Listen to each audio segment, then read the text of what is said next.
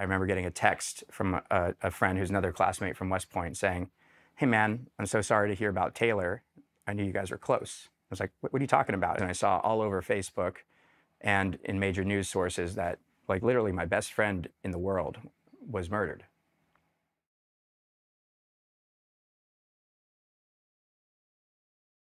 So my name is Josh Halu. I was in the U.S. Army as an active duty Army officer. I served actively from 2009 to 2016 after going to West Point for four years. So I was actually born in Jerusalem, of all places. I had a, I had a Jewish American mom and a uh, Israeli Arab father, which is very atypical. And they met in Israel when my mom was out there studying at university, moved back to the country when I was two years old. We moved to Denver, Colorado, which is where I grew up. And uh, shortly after that, uh, when I was four years old, my dad actually took his own life and died from suicide. And that was a huge, you know, impactful event that changed the whole trajectory of my life as I knew it. And I kind of consider it a bit of an origin story. So when I was four years old, my, my mom walked into the utility closet early one morning when she didn't see my father in bed next to her and you know three small children sleeping in the house and found my dad hanging by his neck and uh, and that really that real that single event changed the whole direction of my life. Shortly after that my mom was diagnosed with bipolar disorder. So mental illness was something I, I faced very regularly throughout throughout most of my childhood.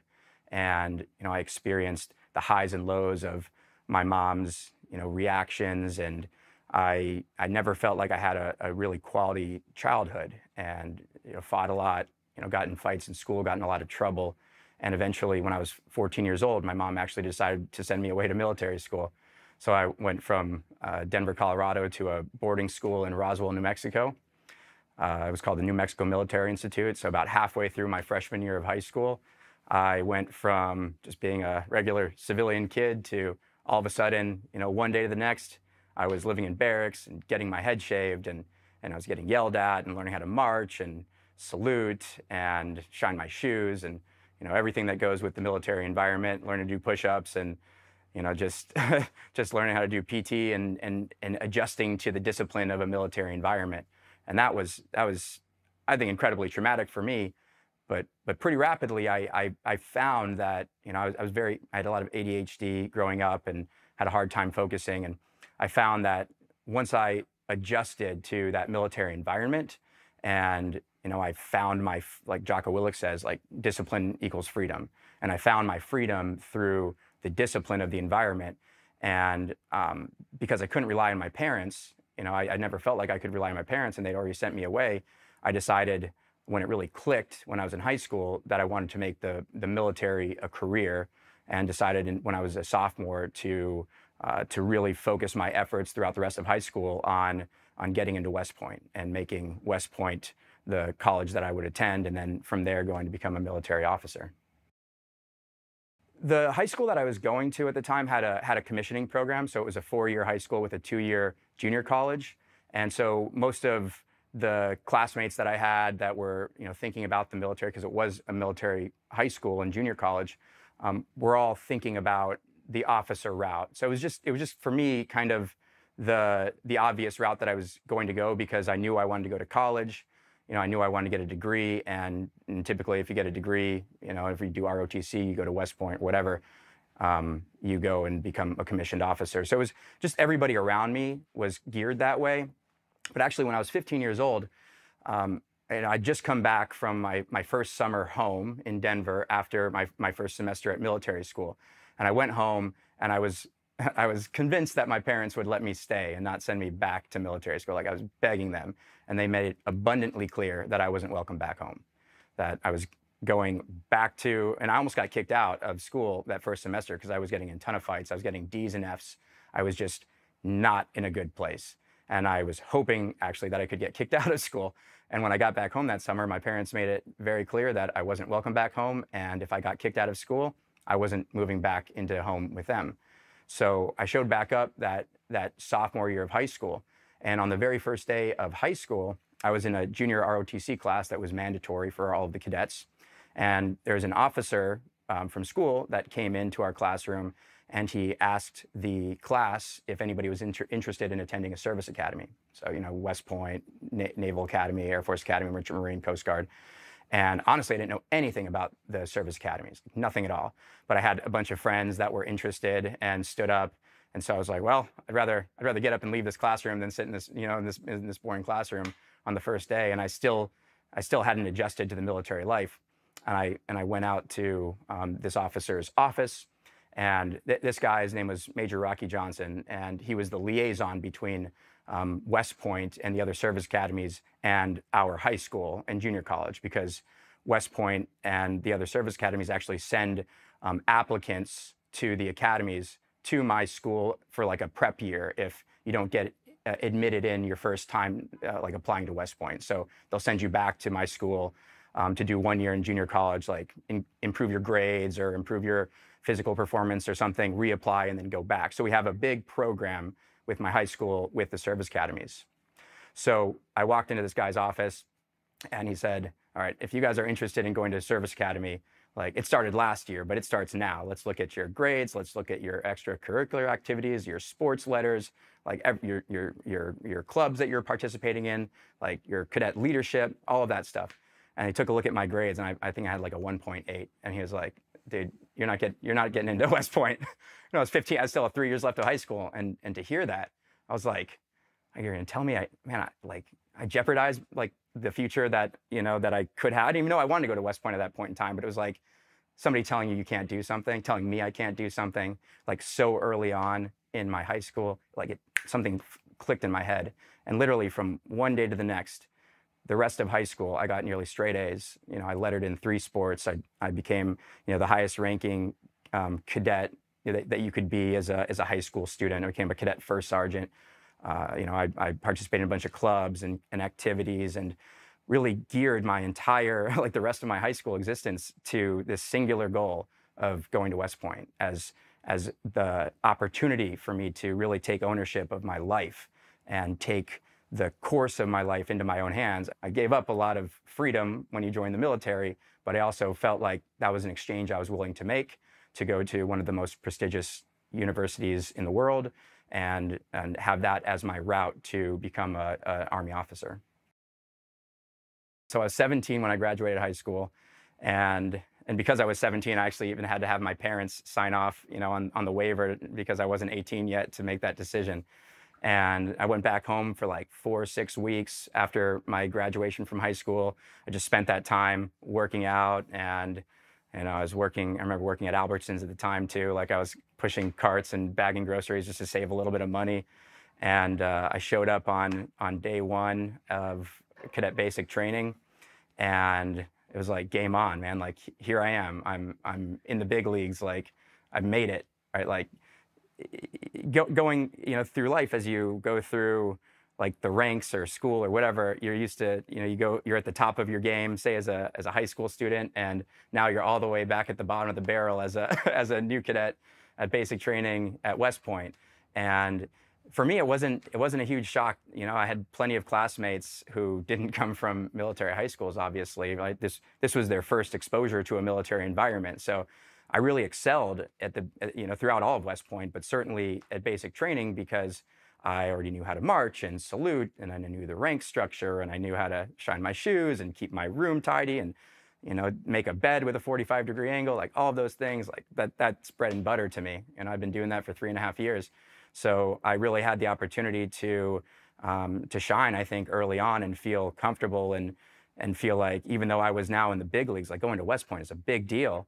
I felt very comfortable in that environment, and I knew I had made the right decision. And uh, honestly, I, I couldn't believe that I had gotten in, that I was I was there. It was it was like it was like really receiving that on the very first day while getting yelled at by upperclassmen. I'm like, man, I, am already in the door, man. That's that's amazing. As a freshman, um, we were we're, we're called plebes, and we're responsible for doing all of the like these additional duties you know, every, every morning I would have to either go collect the trash from the upperclassmen's doors or, you know, I have to deliver laundry, you know, and hang up everybody's uniforms in their closets and, and you know, do all these different, um, eh, like sit at the table and you have to, I have to pour you know, drinks and cut, uh, like serve upperclassmen their food every Christmas. Uh, the the plebes, uh, you sit at tables of ten in in this enormous dining hall that fits all 4,000 cadets in it, into it at once. So we all march to the chow hall. You know, you take seats you get served, you know, at your table in in um, family style with tables of ten, you know, that's made up of of freshmen, sophomores, juniors, and seniors. And and as a freshman, you have all your responsibilities. But on Christmas, there's always a, a really fun uh, experience where the the plebes are responsible for buying cigars for the whole table, and um, and we have a Christmas dinner. It's usually like maybe steak and lobster. And at the end of the dinner, everybody stands up on top of the table and we start singing the 12 Nights of Christmas as loud as we can. And people are like throwing dinner rolls all over the dining hall. And, and then we all go outside um, on the parade field area and everybody smokes these cigars that, you know, the plebes were responsible for buying. So that's how you kind of like show up and, and do a good job as a plebe is getting good cigars for the table.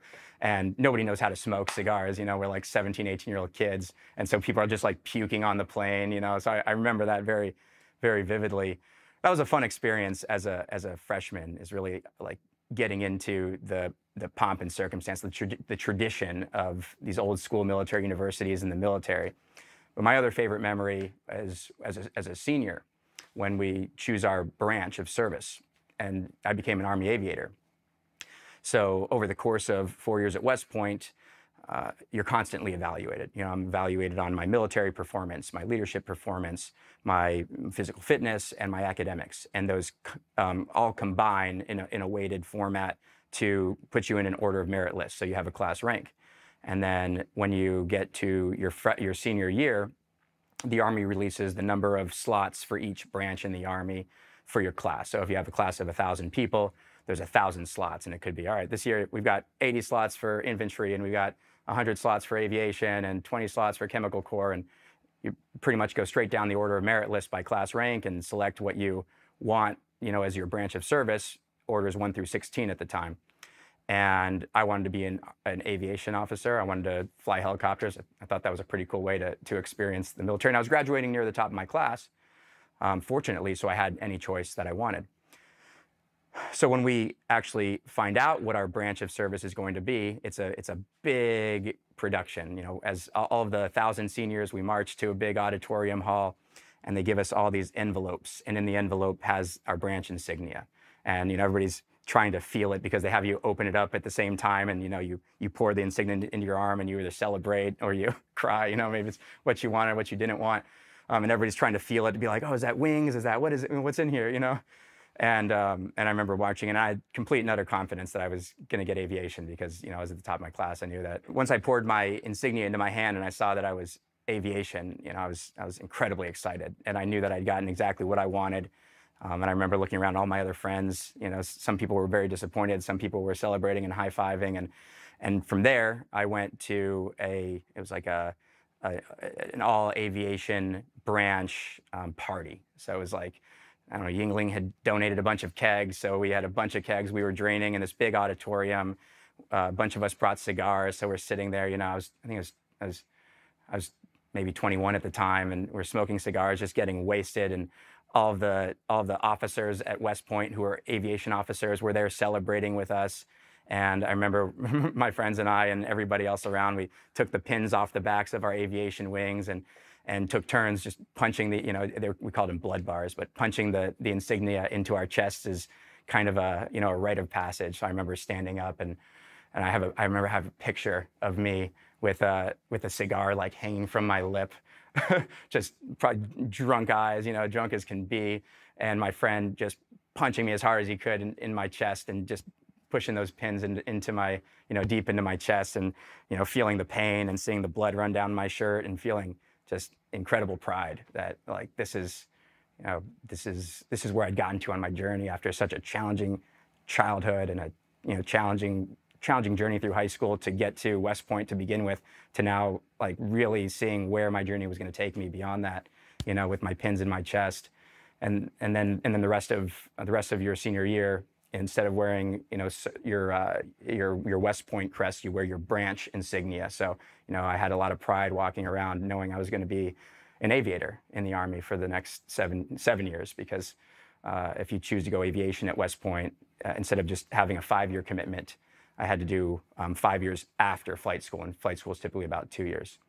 So it was a seven-year commitment, and um, and that actually I was I was engaged to my wife at the time, and interestingly, she that became a very a very challenging subject between us because I kind of chose to go aviation unilaterally. You know, when we get when you get married or when you get married, you, you, you typically should make decisions as a couple. But in my mind, I really wanted to I want to do whatever I want to do because I had earned it.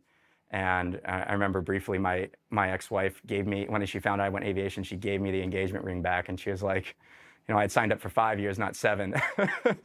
and I was like, man, you know, at, at 20, 21 years old, like these are big decisions, right? Like these are big decisions that you're making for the next five or seven years, and they impact they impact you know much more beyond yourself. But in my mind, I was like, I want to spend my time in the Army flying helicopters, so that's what I'm going to do.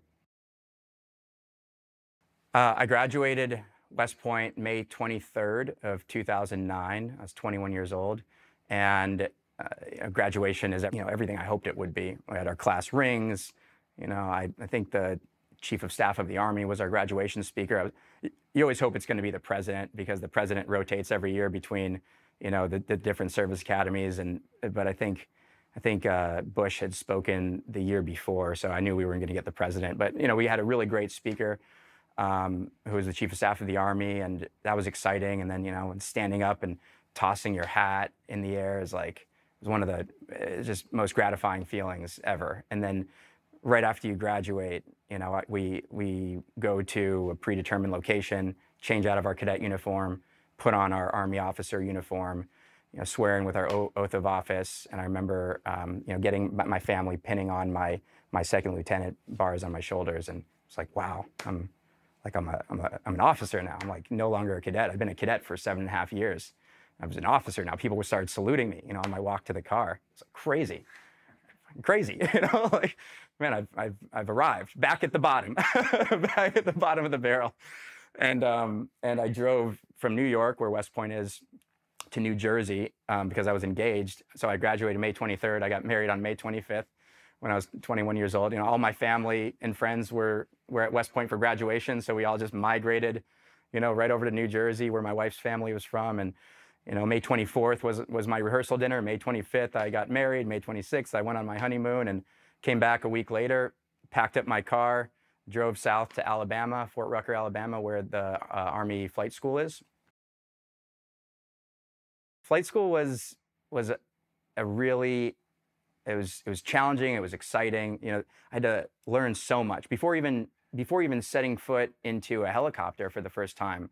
I had to pass several courses that were required. So the first one was dunker training, where I had to go into uh, it's it's learning how to evacuate your aircraft if you end up you know hitting the water because a helicopter will just flip over and just start sinking to the bottom of the ocean like that. And when you are upside down, it's very difficult to orient yourself to like where the doors are. And so, you know, you're taught to follow, you know, let's look at the bubbles, follow your bubbles, you know, be able to navigate with your hands to open the door and how to pop, pop the emergency hatch and things like that. So, you know, that, that is actually pretty terrifying, but very quickly, you know, I learned, I learned that this is, you know, it's not, we're not, we're not playing, playing war, you know, we're not playing army, like we're training for the job that I'm going to do. And that job is life and death and I better be, you know, so I really paid attention. Like if, I go down in water, I want to know how to get out of that helicopter and survive. Um, you know, and from there I went to the Army SERE School, which is uh, S-E-R-E. It stands for Survival, Evasion, Resistance, and Escape. It's another mandatory course that you have to pass before starting flight school, and it's a very, very intensive um, course for three weeks, where I went through um, learning how to survive uh, the, the, the, nature of the course is to teach you as a pilot, um, and special operators also go through the course. But if you're a pilot and you get shot down behind enemy lines, it's how are you going to survive? You know, should, should you survive the crash, right? How are you going to survive to get picked up and brought back, you know, brought back to safety? So, you know, first you learn how to I learned how to survive off the land, right? How to how to set traps and kill game, and you know identify what berries I could eat, and, and start fires and start fires, you know, in holes so that the enemy can't see smoke, like all these kinds of things. And then evasion, right? Like how to evade the enemy once they're on your tracks, how to avoid capture, um, and then resistance. Resistance is you know truly getting captured in a in, you know by the enemy and being put into a POW camp, which is even though it's in training, it's incredibly real. That that you know, I, I, lost track of that I that I wasn't in training anymore. It's it's so intense, like being interrogated, being tortured um, for days on end, like being starved, being beaten, and it, like really, really, they would show us videos of like you know afterwards or leading into the really intensive training of like John McCain, you know, who survived seven years in a POW camp, and you're like, holy shit, like how? How? Because a week in a POW camp, you know, like in a simulated POW camp, like, it, I mean, it, it, it, made me lose lose sight of, of like being a human. You have to really remind yourself. And then escape is the last is the last E. So it's you know how to communicate non-verbally between you know you and your cellmates and start start planning how to escape you know the POW camp and and the whole goal of SERE School the the motto is return with honor. So it's it's not just about you know returning, getting back home, you know, getting back to your country, your unit, whatever. It's about returning with honor. So you know, not not giving information up when you're getting interrogated, like you know, really really being being careful about how you're representing yourself and representing your country. You know, it doesn't matter what the enemy thinks. It's we still have morals and ethics, you know, as Americans that that we want to uphold and and and you know re return with honor, right? Very serious. So once once I passed that, not not everybody does pass that. I remember some people had extreme claustrophobia, and um, and you find yourself in very very small cages at SERE School sometimes uh, for extended periods of time, and you know it really it really can make some people go crazy. You know, I remember some there's a safe word. You know, there's a safe word at flight school, which is kind of like if if I say the safe word, it's over for me. You know, I'm getting pulled out of here. Um, and so I remember hearing somebody say the safe word, they got removed from training and they get rebranched to whatever the, the needs of the Army are and, and they're packing their house up and they're no longer going to be an aviator. You know, it's, it's, that, it's that serious, it's that quick. Um, fortunately, that wasn't a, an issue that I had. It was a very challenging school, and I and I I remember feeling like like truly a lot of trauma, you know, coming back from that experience, and just like sleeping in my bed again at night, not having nightmares. Like the nightmares really haunt, haunted me for quite quite some time. And sometimes, you know, I'd go shopping in town. This is crazy. It's, it's people's job. This is crazy. It's people's job to work at SERE School as interrogators, you know, and as like the prison guards.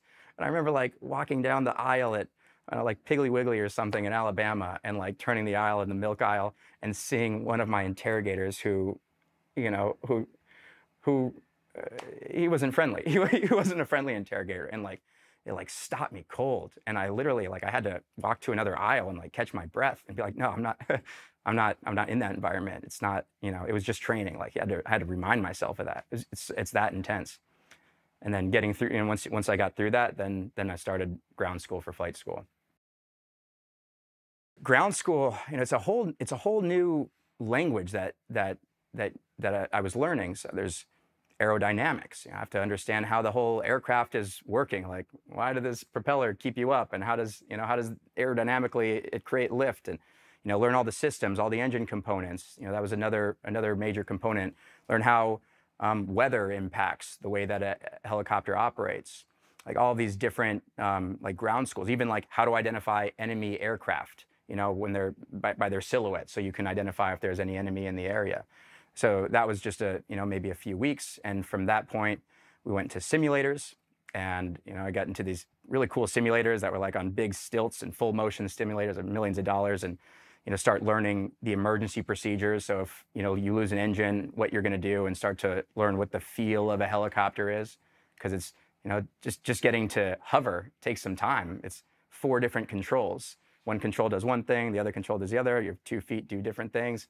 And you know, learning what, we call control touch. It's like, it gets to be like riding a bike, but it, you know, it's like you're teaching yourself new new motor skills that have to be solidified in your in your brain. So, you know, once once I got through the simulators, then I remember meeting my first instructor pilot and going out for my first helicopter ride.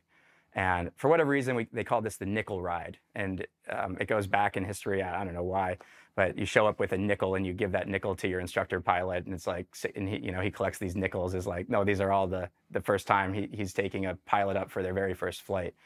And I remember picking up, you know, and, and taking off and, and he gave me the controls and feeling the helicopter in my hands for the very first time. And like, you know, wiggling the collective, which increases the pitch of the rotor blades, which creates more lift and like feeling the helicopter up and down and recognizing like, wow, like I'm flying. Like how, how, like how insane to be like, you know, just flying through the air three dimensionally. Like I didn't know how to hover at that point, so it was like kind of rocky. But you know, when you're when you're there, you're like, wow, I'm like literally I'm moving, I'm I'm like manipulating this whole freaking machine around me, and I can like go up, down, left, right, wherever I want to go. And it was it was incredible. It was an incredible feeling. The first part of flight school is all in a training helicopter. It's, it's a civilian helicopter called a Bell Jet Ranger, just a single engine aircraft. And everybody trains on that. I think it's like the first eight weeks. And, and everybody's just, just learning how to fly at that point. You're learning how to pre-flight an aircraft, how to you know, turn on an aircraft, use your checklist. You know, everything's kind of by the book and getting the, the feel for how, how the helicopter works.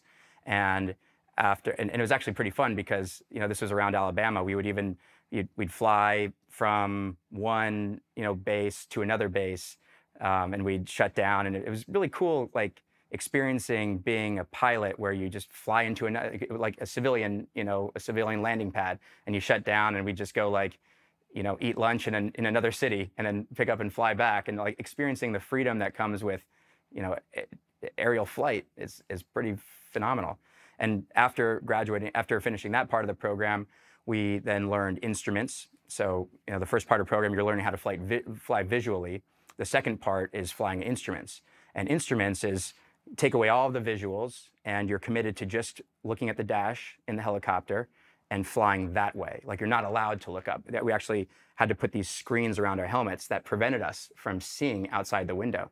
So imagine how how crazy it is. Like you really feel like this spatial disorientation. Like your body wants to you know, you might feel something in your body and the helicopter is doing one thing. Like it looks like, according to the instruments, maybe you're like straight and level, but for some reason, because of the way the wind's hitting, it feels like you're like leaning this way and your body just really wants to correct it.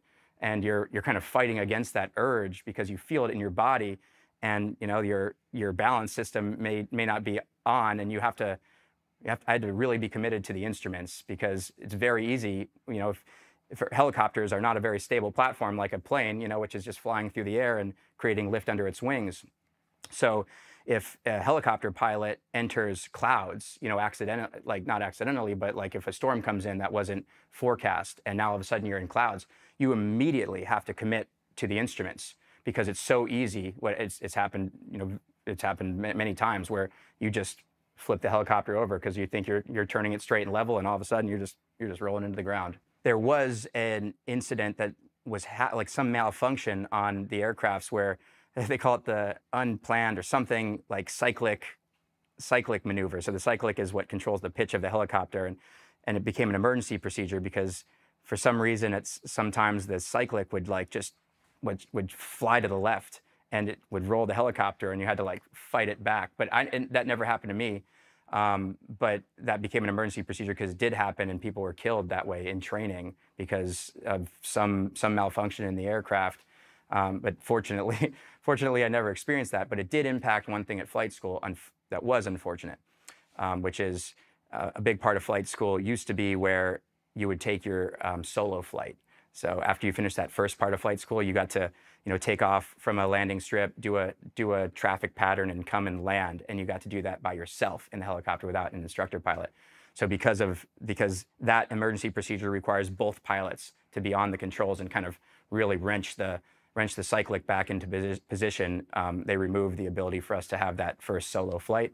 So I never had a never had a solo flight but I also, you know, I also am still alive, so that's also that's good. So after that, um, then we went into OH-58 helicopters, um, and that was the next phase of training, and that was getting into tactical training. So from that, we started learning how to navigate with a map, you know, flying over the the contours of of the Earth and and recognizing how to how to navigate, you know, and pick out terrain features because you know, you do land navigation in the military and you're on the ground, it's very different than how you notice things from the air, like what's a good reference point, you know, like like cemeteries become very good reference points. You wouldn't think of that when you're on the ground, but it's very easy to see a cemetery, you know, from the sky and also find it on the map and know where you are. So things like that, you know, from from the aerial view start to be different and we start to learn how to do more, you know, tactical like fly in formation, you know, fly tactically, um, things like that.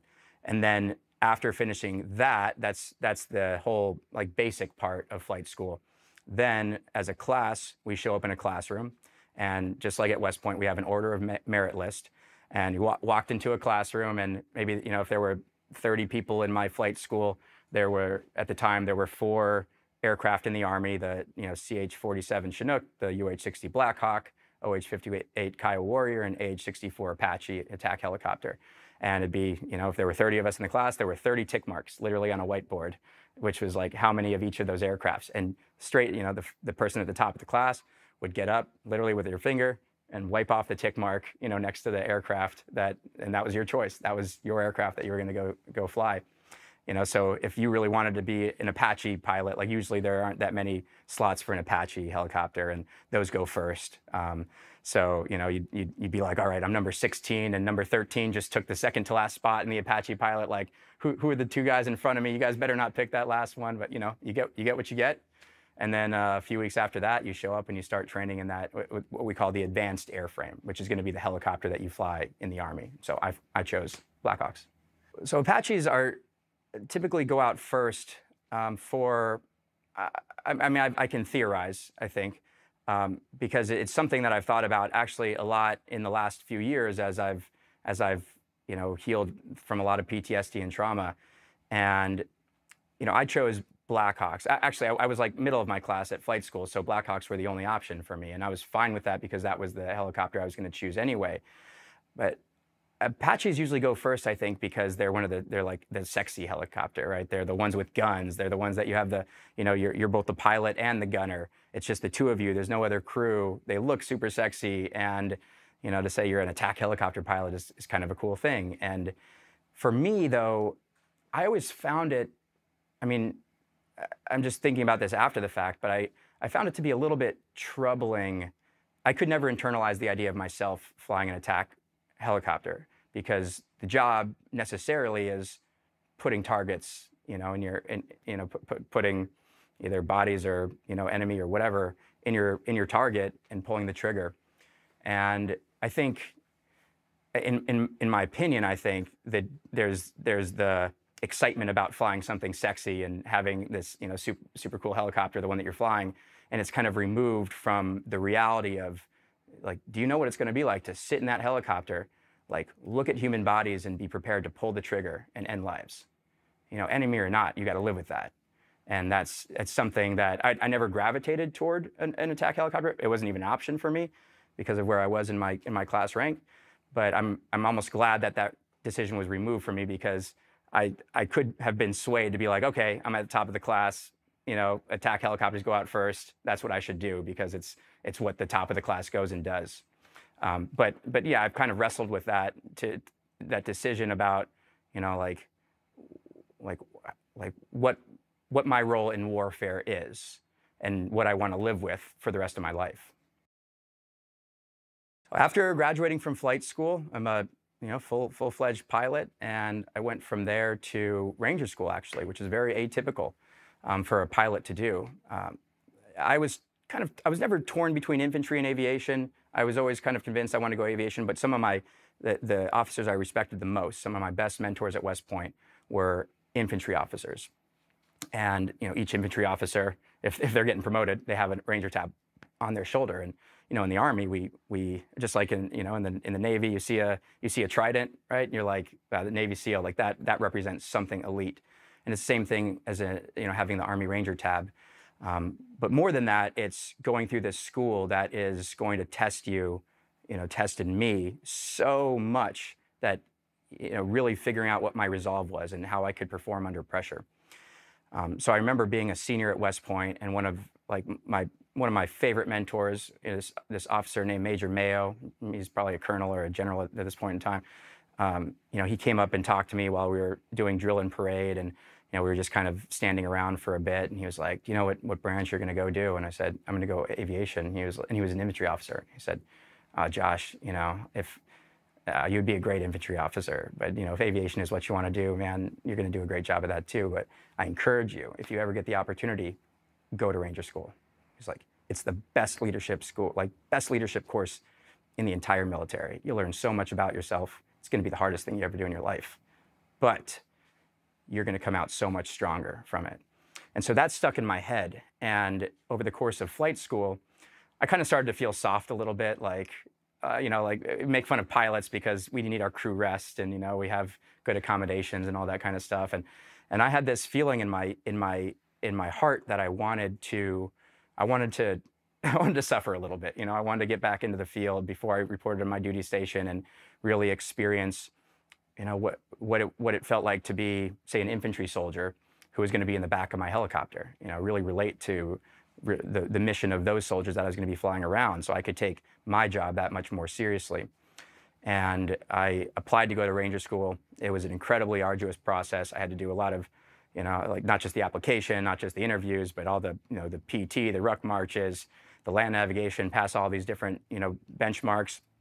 And I remember I got to the very last approval level and I went to see the chief of staff of the aviation uh, of aviation who was at Fort Rucker at the end of flight school and I just needed his signature to get approved to go to flight school.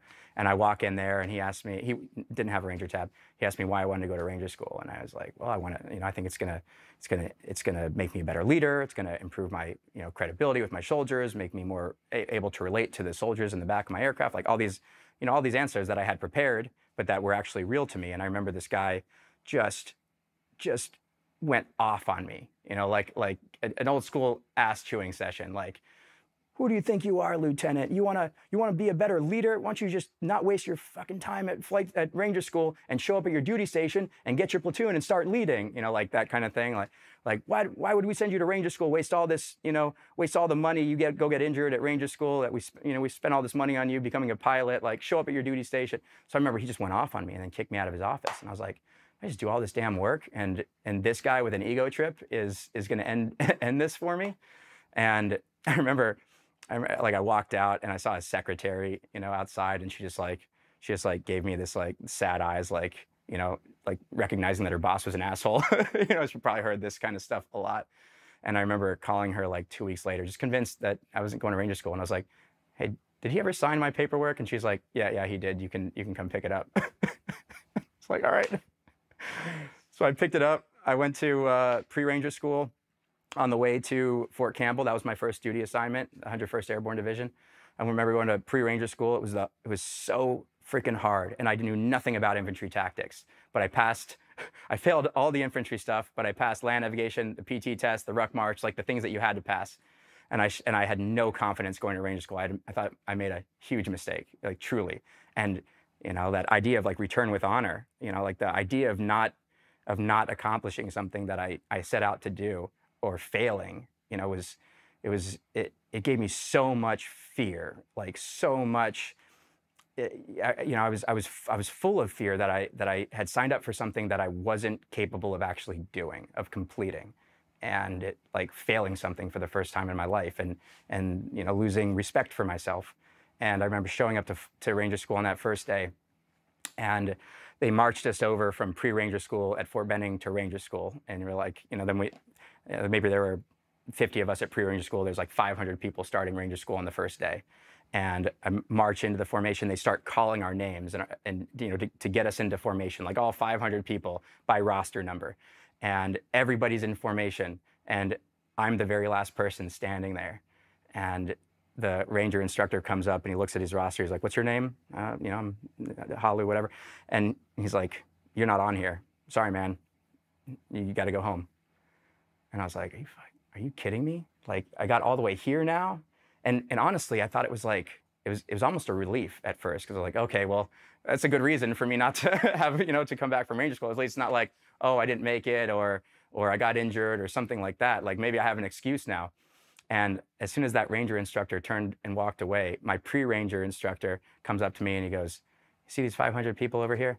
It's like, half of them are going to be gone by the morning after the PT test. Grab your shit and run to the back of the formation. And I was like, seriously? He's like, he's like, fucking do it. I grabbed my, my ruck, I ran to the back of the formation. I found a bunk, you know, I don't know how, I don't know how, but I like literally snuck into ranger school and sure, sure thing, like the first morning we did the PT test and, you know, like 200 people failed because they're so strict and they're trying to weed people out, you know, at the very beginning. And then, you know, it's a continuous process of weeding people out, weeding people out, weeding people out. So, you know, only the best of the best finish. And um, yeah, somehow 63 days later, I was standing in graduation getting my Ranger tab pin, pinned on my shoulder, like barely making it every step of the way. But, you know, like, like the peer evaluations, the, you know, not eating for days, not sleeping at all, you know, it was, it was literally, you know, losing 30 pounds, like pushed me to where I felt like I was nothing but just like bone and muscle fiber and grit. And I, I had a my hat, you know, my my army hat on my head, and I had written in it one more step, because like all I could tell myself was, all I got to do is just keep taking one more step forward, like through all of this stress, through all of this intensity, this literally the hardest experience of my life, every single moment for 63 days, and like standing there, getting my ranger tab on my shoulder was like, th- that was probably the the best, like the the best feeling, like emotional experience I've ever had, the relief that came with that, and the pride, like the, the pride of putting a Ranger tab on your shoulder is like, wow, like I, re- I represent something that means something. You know, there's been so many circumstances like that throughout my life and my military career where it's like, you know, so, something shouldn't have happened, but some some interjection or you know some guardian angel like gave me the the nudge in the direction that I needed to go. It even happened the last phase of Ranger School when I was in Florida phase, swamp phase. It's the last three weeks, and it's so intense in um, like in, in Destin, Florida. Literally like wading through swamps, you know, with with your rifle over your head, where you got mud up to your shoulders, you know, and, and you're you're two months, almost two months into Ranger School at this point. So I mean, and you're, you're just fatigued beyond belief and you're on Zodiac boats doing night raids, you know, against enemy forces, like all of that intense military training. And I remember I, I had passed my very last um, leadership uh, role in that phase. So once once you pass your your leadership, you know your your it's called your patrol, your leadership patrol, where you're put into a leadership role and you have to take your unit, you know, accomplish a mission or whatever. Um, you get kind of put into a support role. So now you're carrying the radios, you're carrying the machine gun, you know, you're doing the things to support the people that still need to get their go. And I remember I was so exhausted, and I was I was the radio operator. And um, it was like one of the very last missions, like two days before graduation. And we were lined up and you know, it was before sunset, and we were literally here for two hours, just waiting for a certain time when, you know, when the when the raid against the enemy was going to start, and we were going to, you know, ambush the enemy. And I fell asleep so hard. And you're not supposed to fall asleep, obviously, at Ranger School. In fact, like you get so tired at Ranger School, one of the techniques that we use to stay awake is in our MREs. If I don't know if, if you remember, but in our MREs we had these little Tabasco Tabasco um, hot sauce bottles, like these little tiny Tabasco bottles, and we would literally like put drops of it in our eyes just to keep ourselves alert because like the pain was so much that at least you know you weren't falling asleep, but sometimes you could even fall asleep through that. It was crazy. Never been so fatigued in my life. But I fell asleep so hard, and I remember I had this vivid dream of a firefight, and I heard all the noise and everything else. And then all of a sudden I hear, RTO, RTO, which is radio transmitter operator, like which is my job. And I was like, I snap up and I look up and there's nobody around me. And I'm like, oh my God, I'm fucked. And I get up and I just start sprinting like through the forest, you know, to wherever the sound was coming from. And I break out of the I break out of the trees and the entire Ranger platoon is in formation.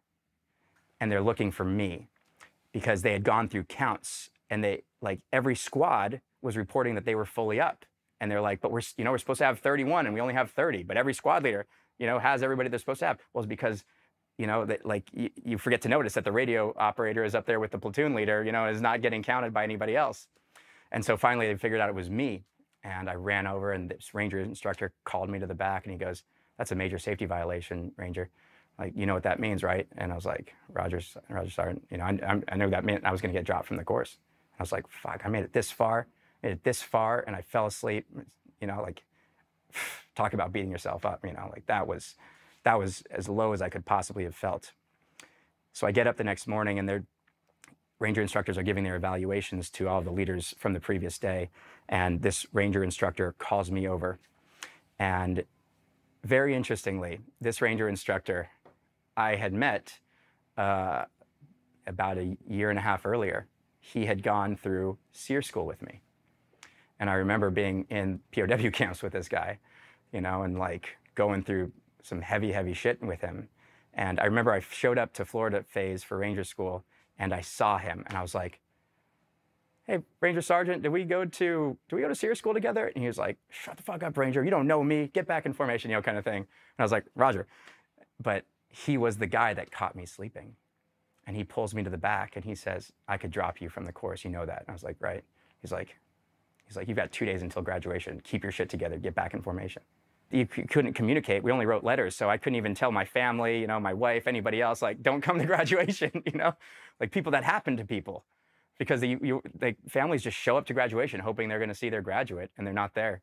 I remember like seeing a wife with her kids like showing up, and I knew that that guy didn't make it, and I walked over and told her that he didn't make it, and just seeing the look on her face, man.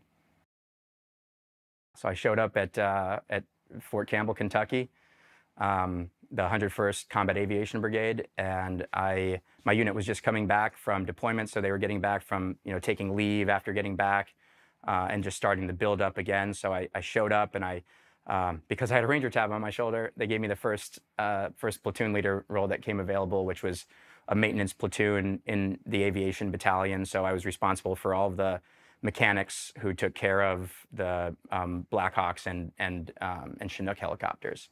So all of a sudden, I showed up. You know, I had 130 soldiers reporting to me, like my very first job in the army. And I remember one thing they tell you at West Point is is trust your NCOs, you know, trust your non-commissioned officers, like the the sergeants. And I had this really great um, sergeant first class E7 who was my platoon sergeant. He'd, already, he'd been deployed four times already. You know, I didn't have a combat patch. And he was like, I got you, sir. Like, just, you know, like we're in this together. Trust me, I'm to, I'm to help you. You know, I'm to help you become the best platoon leader that you can be. And I was just like, jump in feet first, figure this out. You know, like now, now you're, you know, went from, from being a West Point graduate to, you know, being a pilot to being an Army Ranger. And now I'm back at the bottom. I'm a platoon leader starting at the very beginning again. And now I'm actually responsible for, for human lives. And that there's a lot of responsibility that came with that on that first day. So once I showed up to my unit, it was about a year and a half before we deployed to Afghanistan. So there's a, a buildup of training, and uh, and through that whole time, you know, I, I, was kind of learning my way around as a as a platoon leader, as an officer, learning how to run ranges. You know, take take my soldiers out and get them qualified on their rifles, and you know, make sure they knew how to how to take care of the helicopters. And at that same time, I was I was flying with the flight company because I was a pilot also. So I both had to run my run my platoon and also maintain my flight status, get certified. So when we deployed, I was ready to fly. And it was maybe about three or four months before going to Afghanistan, and we had a new crop of lieutenants come in. So, you know, I was, I was year group 09. I graduated West Point in 2009. Now we had the year group 2010 lieutenants show up, and they all needed their platoons.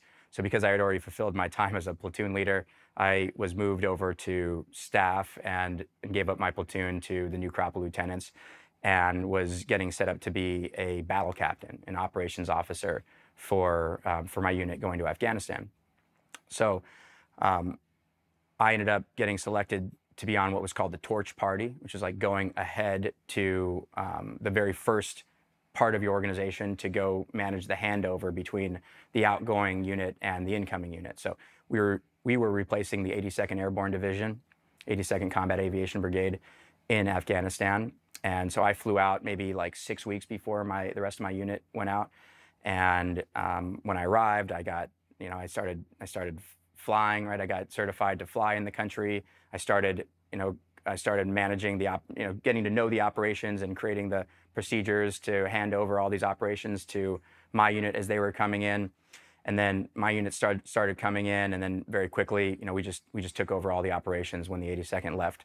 So I was I was managing um, the flight, like planning all the flights for all of the missions that we we were sending out. So my unit had uh, something like 50 helicopters and 700 700 soldiers, and we managed all of the helicopter operations in this region of Afghanistan where, where I was stationed, which is just north of Kabul at a place called Bagram Airfield.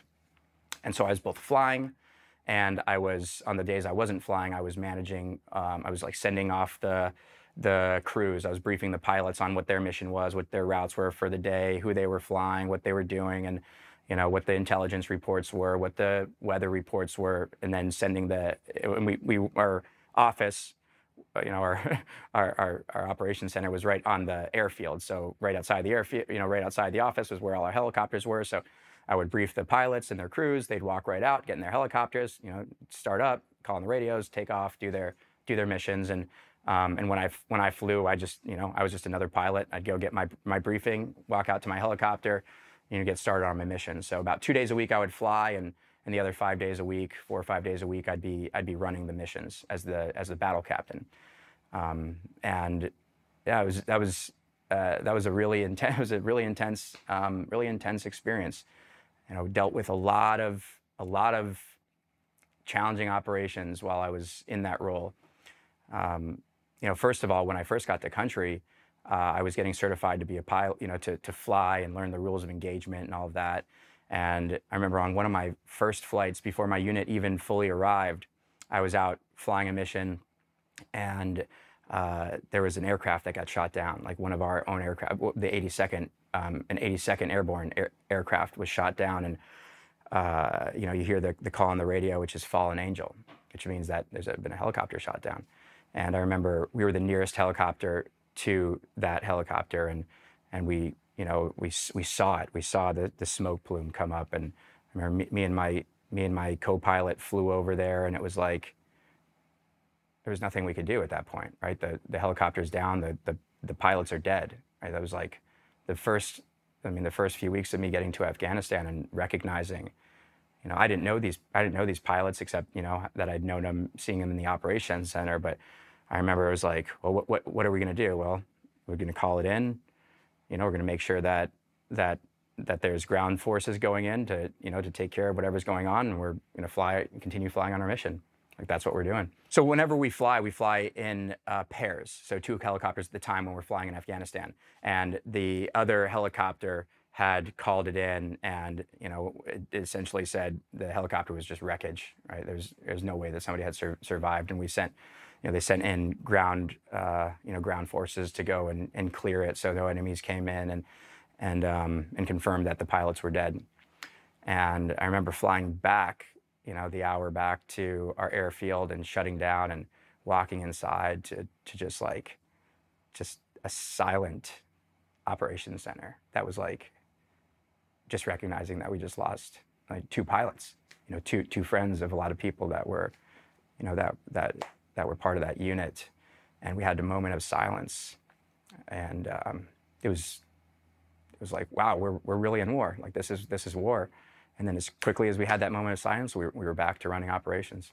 Like seeing that right when I got to Afghanistan, knowing I we were doing nine month deployments, so I had nine months ahead of me. Like it, it, it gave me, it took away this feeling of like, oh man, it's uh, awesome to be flying around in a helicopter in Afghanistan. This is a cool job. too. this is this is freaking serious. Like this is serious business. And I'm responsible not just for myself and coming home alive and my co-pilot, but I could have a helicopter full of soldiers in the back. Like I'm responsible for bring, you know, bringing them home. And it, it, it gave so much more gravity to the experience of being at war, experiencing that right at the beginning, like knowing that this isn't a training environment. There's like actual enemy out there with guns trying to trying to kill us, shoot us down. Um, there's malfunctions in the aircraft. There's, you know, you get tired when you're flying eight, ten hours at a time, right? Like sometimes pilots go down because they fall asleep. And it, it just created an awareness in me that, you know, I wanted to come home. And I, I didn't want to be responsible for my death or anybody else's death for sure. But, but um, you know, I had nine months ahead of, of being a pilot, you know, of managing aircraft operations and actually flying missions and I had to take, you know, eh, there's, there, were the, you know, there wasn't a moment in the helicopter that I couldn't be tuned in and turned on and be prepared for anything to happen. I couldn't get complacent. So once I was up and running in Afghanistan, and you know, my unit was fully in place. I was you know, flying a couple times a week. Generally, a lot of the flights were a little bit boring, to be honest, because our our rules of engagement, you know, the way we had to fly was was that we always had to be at least like 3,000 feet above ground level, which was beyond what enemy enemy you know any known enemy weapons could could reach. And we flew, you know, with a lot of safety. Sometimes you know, sometimes we would go and practice maneuvers like dust landings or, you know, land on the tops of mountains with, with like one wheel on it. And that was, that could be very terrifying, like under night vision goggles, right? Like all, all these crazy experiences of flying night vision goggles, like landing in a, in a dust out where you can't see anything at all. And you're just like kind of praying to, to, to hit the ground. But, but once I'm in the, once I was in the process of it, it just became normal. You know, like I went to the gym, I went to the dining, you know, the dining hall.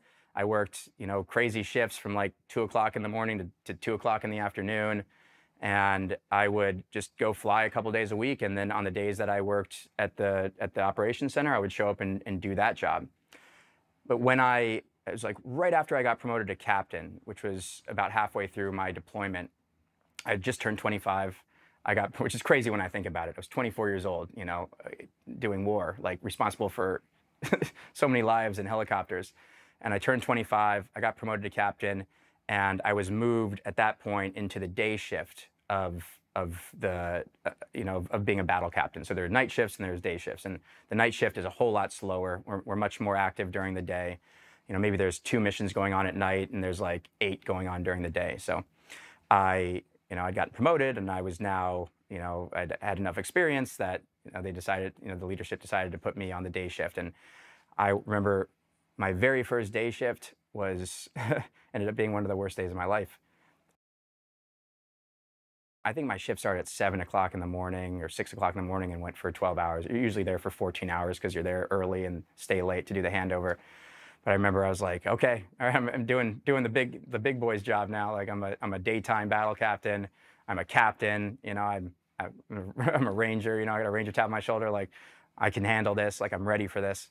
And was like the first three hours of, of the day of my shift. I think it was about 10 o'clock. It was the most calm day ever. There was, you know, the weather was perfect. Every mission was right on time. Everything was was going exactly like I would have hoped it would go. And I was just like, okay, making it through this, like I can do this. And all of a sudden, about 10, 11 o'clock in the morning, I hear on the radio, Fallen Angel. So obviously, you know, in that moment, like my heart just drops. I'm like, what the fuck? You know, like what is happening? And um, you know, I run over to the radio. I you know try to get information about you know what what's going on, and I find out from one of our crews that's that was out that one of the helicopters um, went down.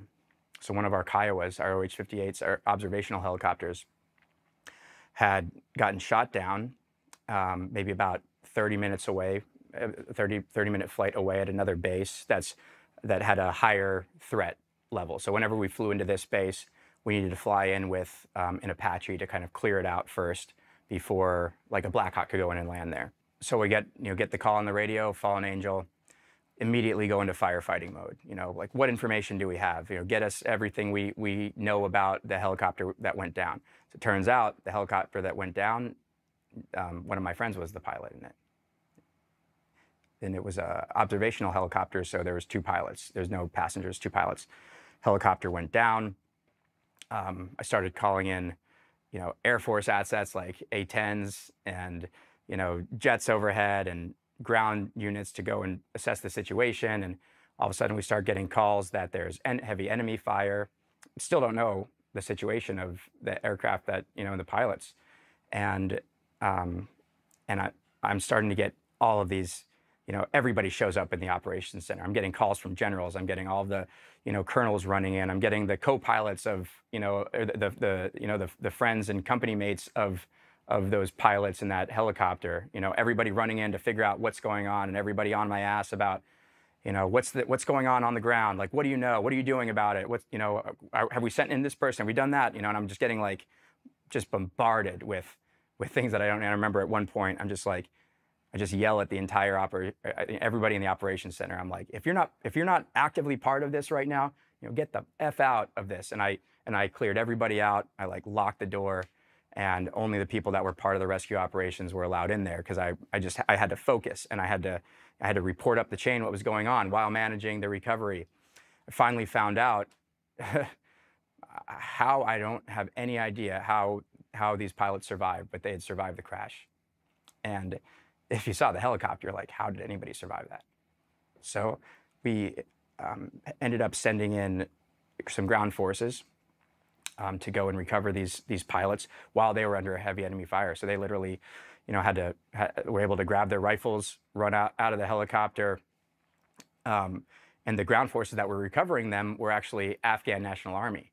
So they weren't American forces. So they they they thought that they were getting a bunch of you know Af like Afghan maybe Taliban running up on them and you know ran up weapons drawn and found out that you know those are actually friendly forces. So they were recovered. There was an enemy force, but that enemy force I think was was held at bay. I can't I can't remember exactly what the details were, but I just know that when I talked to my friend afterward, he's like, yeah, we saw you know essentially a bunch of Afghan soldiers running up to us, and we're and like at first we are like, are these are these enemies or are these are these friendly? Like they didn't have any idea, um, but then quickly found out and were recovered and brought back to base, and. Uh, you know, I remember seeing those guys walk through the door. First, they had to go to the hospital and get assessed and everything, and see, you know, medically what was going on. They were, they both walked away from that crash.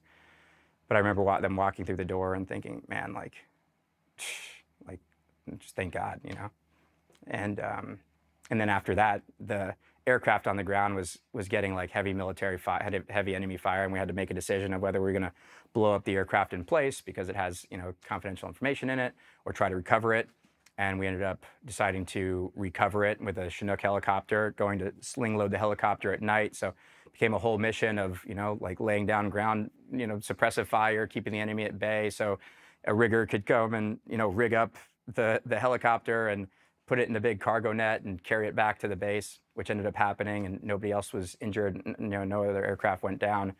And I remember seeing this helicopter come back to our base just like a crumpled mess. And like look like just like looking at it thinking how like how did anybody survive this? I'm just so grateful that they did. I don't think that they were actually shot down. I think what ended up happening was they had a, a mechanical um, malfunction. And because they were so close to the ground uh, they didn't have time to do any recovery and actually ended up just crash landing so you know so anyway they they came back to the base and it's really interesting when you when you're a pilot I think this happens in the medical community too if you're a doctor and you, you experience something traumatic. But when you're a pilot, um, once you get into an accident, the they want to get you back into the helicopter seat as quickly as possible so you don't develop like a phobia around it. So I remember like talking to my friend and being like, you know, you, like, like I remember him feeling nervous about getting back in the helicopter and you know, and like you kind of have to force yourself to get back in the seat so you don't you don't develop this this fear of like of, of flying very quickly because it can start to fester. And so I always thought that was a very interesting, you know, perspective, and it actually influenced me quite a bit to think about like, yeah, like when when you have the fear, you, you push through the fear. Otherwise, the fear owns you. Afghanistan was just like it was a it was a crazy experience. I mean, I, I got in some of the best shape of my life. you know, can't drink while you're out there, so I worked out a lot. You know, like I I was really excited about, um, you know, like getting combat flight hours. You know, as much as it was it was scary to fly. Like I flew around a lot of VIPs and senators, and you know, like I think John Kerry at one point was out there. I flew him around. I'd go down to the U.S. embassy in Kabul quite a bit, and you know, go shopping around at like the the little um, the the markets that are run by locals, and you could buy like Persian rugs and cool things like that. Like there's different different fun things like buying bootleg, you know, DVDs and sitting in your room with friends and watching DVDs. Like to some extent, it was like finding normalcy, you know, like just just a, a routine and a pattern in in war, which is which is crazy. And it was it was I was fortunate because I was at a major air base. Like I remember we would we would bring mail in, like in huge duffel bags out to soldiers like on the Pakistan border. And I would look at the I would look at the letters and they'd be postmarked like four weeks earlier. And they're finally getting their mail, you know. And for me, like my wife was living with her parents in New Jersey at the time, which is where a major APO is. And so she could she could literally put something in the mail to me and it would it would arrive to me like 2 days later. And, and I just remember thinking just how grateful I was. Like I'd get, you know, get boxes and boxes of Girl Scout cookies and people would send us all these care packages and all that kind of stuff. And, and, you know, we did, Christmas parties and, you know, I remember my wife sent me a, like a dehydrated birthday cake for my 25th, my 25th birthday, you know, just like, just enjoying, enjoying the experience as much as, as much as I possibly could.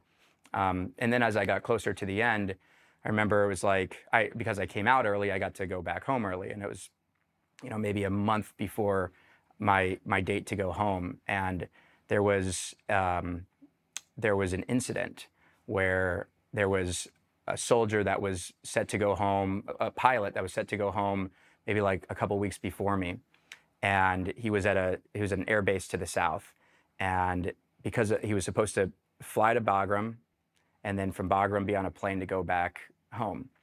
I, I don't know exactly why he was going back home, but I remember this this happening.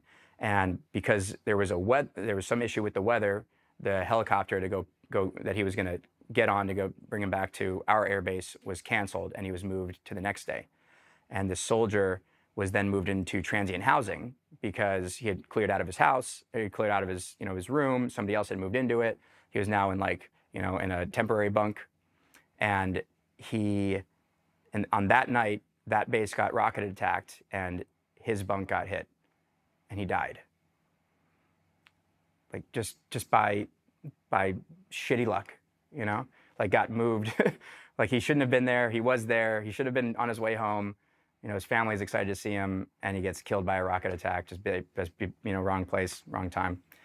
And it was so close to me going home that man, that left such an impression in my head of you know, I, I, started having like fears when I would get into the helicopter of like, man, am I coming back from this one? You know, like, is like, you know, you start to wonder, like, you know, then you get down to the last week or two before leaving Afghanistan, and I'm like, I don't want to fly anymore. You know, I don't want to like, I'm, I just want to be on, on this on this plane ride home. You know, I want to be back in my bed, and you have to I had to fight these these thoughts, you know, out of my mind and tell myself, no, just like those are those are thoughts of complacency. Those are thoughts of weakness. I've got a mission to do. I've got to stay in the game like the worst thing I can do is start to, you know, just to dwell on these kinds of thoughts.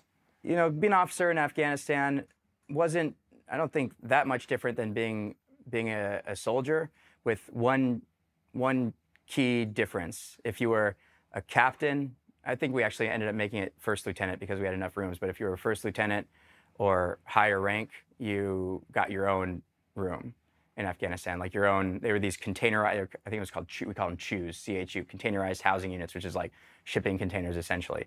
But if you were um, if you were an officer, for the most part, you we got our own rooms to ourselves, which was which was a blessing. You know, after being in in an operations center, you know, around a couple dozen people like all day every day with a lot of activity, it was really really always I was grateful to come back to a quiet room that was just my own space and I could just like be in peace for for a period of time, like pull my shades down, you know, turn on some music, and just just chill on my own. Like that was.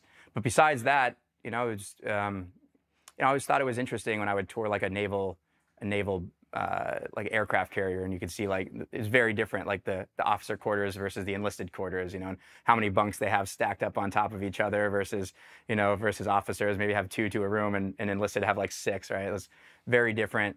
Um, but yeah, in, in, in in Afghanistan for us, I, I, always thought like I always liked to be with the soldiers. I was always, you know, I was never like one to just hang out with officers. I like to really, you know, like learn from soldiers. I had a lot of curiosity, you know, and I, I liked. I, I really felt like it was an important, it was a responsibility of mine to, you know, to role model like good good behavior, to to be be doing the work. You know, if I see soldiers like picking up, moving stuff from one place to another, you know, doing doing doing laborious work. Like I would I would just go, you know, jump in with them and do it because I, you know, for me it's it's like a it's like a privilege to be able to to to role model appropriate leadership because you're setting the example for, you know, who the next the next leaders in the military are. I was in Afghanistan for, for nine months. I got back around 2013 and uh, like mid 2013, and I got out of the army in, in early 2016. So I only had about three years left in the military. And in that time, I went to the military. I, I transitioned into the military intelligence course for captains, um, which was in Arizona, and I spent nine months doing military intelligence school. And from there, I went and became a company commander in Fort Eustis, Virginia, in, in charge of a, a, unit that trains uh, trains soldiers who are specializing in um, in in mechanic work for helicopters. So I took over a training unit, became a company commander for the last two years of my time in the military, and then I started setting my sights on getting out, and you know started putting my resume together, applying for jobs. I I knew that I wanted to get out of the military after my obligation was complete, and and so I started just getting myself set up for that. I had felt like I always wanted to get out of the military after my obligation was complete. Back to my origin story, like I saw West Point and the military as a means to take ownership of my life and kind of emancipate myself from my parents and and and set myself up for for a lifetime of success. I never, I didn't like ever feel like I joined the military because I wanted to be a career military officer, um, you know, or or or for, for any other reason. It was really because I wanted to have this experience like early in life. Um, I wanted to experience West Point. I wanted to become an Army officer, and then I wanted to figure out what was next for me. And I felt early on in my military career that the Army as a career wasn't for me. Um, you know, I, I, I got into a lot of, you know, challenging situations with with senior officers or leaders that I, you know, didn't respect. There was a lot of you know, I, I, had a lot of like challenging command climates, which I really, you know, where I didn't have respect for my leaders, or I, you know, I felt like I was, I was, you know, being forced to do things that maybe morally I wasn't aligned with. I was excited to, for the first time in my life, you know, I was 14 years old when I put on a uniform. I was 28 years old when I took one off. So I was literally 14 years out of 28, half of my life I spent in a military uniform, and I really felt, you know, I didn't feel like I was running away from the army, but I, I felt I felt like I wanted to run toward having like complete freedom of my life for the first time. Like choose what I wanted to wear, choose where I wanted to work. You know, if I didn't want to move to a certain location, that could be my independent choice. So for the first time in my life, I really wanted to experience like true freedom and ownership of my direction. And while I was active duty, I earned my my master's in business. So I was ready to like move into a, a corporate job and start you know, start making good money and and and build, you know, build the next phase of my life. So as, on the on the day that I could sign out of the army is the day that I signed out of the army. I was in company command up until that day, so I literally passed off my guide on, you know, handed over my company to my successor, and went right from there to the you know the human resources um, office. Signed out of the army, drove off base for the last time, took my uniform off, it was March 4th, 2016, and I went to start packing up my house. And I already had a job lined up, so I knew that I was moving after that to Indiana, so moving from Virginia to Indianapolis. And driving off the base for the last time in uniform uh, was there was a mix between relief and like trepidation. And I, I, remember feeling a very similar feeling when I drove off uh, West Point for the last time. And you know, the, eh, eh, they talk a lot about West Point. Like for the last time when you see West Point in your rearview mirror, you know, and I remember that in my head. And I remember driving off of West Point and looking in my rearview mirror and seeing it for the last time, you know, when the day that I graduated and being like, wow, yeah, like next time I come back here, it's not going to be, I'm not going to feel the same about it. I'm going to be, you know, not in the experience. I'm going to be beyond the experience. And it felt very similar when I left uh, Fort Eustis, Virginia. And I remember driving off and very deliberately looking in the rearview mirror to see the base like disappearing in my rearview mirror and just feeling so much excitement about the next phase of my life. And also like this trepidation of like the unknown, you know, like now it now it really was what I had hoped it was going to be, which was my decision. You know, it's it's no longer the army telling me what to do. It's now me like taking full control and agency of the course that my life would take and complete ownership, like what I had what I had wanted or what I told myself I wanted. So there was a little bit of fear of like, man, is this the right decision? I know it's the right decision. I'm excited about it, but like, what is beyond the unknown? You know, like, uh, I'm going to figure it out. You know, so it was it was mostly excitement, a little bit of fear, but um, I remember driving off base just just really excited to figure out what the next phase of life was going to feel feel like. I drove off base March 4th, 2016. Um, on March 8th, 2016, so four days later, I'm packing up my house. My wife is at, at work. She's still finishing up her job. She was a nurse and worked at a local hospital. And I remember getting a text from a, a friend who's another classmate from West Point saying, Hey, man, I'm so sorry to hear about Taylor. I knew you guys were close. I was like, What? Like, what? I was like, What, what are you talking about? And I quickly jumped over to Facebook and in, in the news, and I saw all over Facebook and in major news sources that my be- like literally my best friend in the world um, was murdered, and he was murdered in a stabbing attack by by a terrorist in Israel, actually. And this was really um, this was this was the darkest moment in my entire life was was get was was getting that message and learning in that moment that my friend had just died. So so my friend Taylor Force, we went to high school together. We were roommates in, in my military high school. We we applied to West Point together. We went to West Point together. We graduated together. Um, he was, you know, a saber bearer at my wedding. He was he was actually the guy that he swatted my wife on the butt, you know, and if, you know, the, there's the saber arch that you do when you leave the the ceremony of a wedding, and and you know, if it's a military wedding, office, uh, soldiers or officers will get up and they'll cross sabers, and you'll walk under the saber tunnel, and then as you get to the back of the saber tunnel, the last two soldiers will cross their their their sabers in front of you, so you can't pass. And they say like, "You must kiss to pass," you know, and you kiss. And then and then the as you're walking through, one of the saber bearers swats the spouse on the butt and says. So in my case, it was "Welcome to the Army, Mrs. Halu." Like it's you know, it's a whole, it's a whole tradition. So Taylor, he he volunteered to do that. He was like, "I want that role." and so he got that role, you know, and he was just one of my best friends through life. And he had gotten out of the army two years before I did. And he was doing his, his MBA program through Vanderbilt University out of Nashville. And, you know, I was talking to him as I was getting ready to leave the army about what it was like, you know, kind of getting my mind right. And, um, and I was born in Israel. Uh, and, and, and so I had seen on Facebook and I talked to Taylor and, and saw that he was on a trip to the Middle East with his with his school with Vanderbilt, like doing an entrepreneurship program. So he was in Jordan and then he went over into Israel.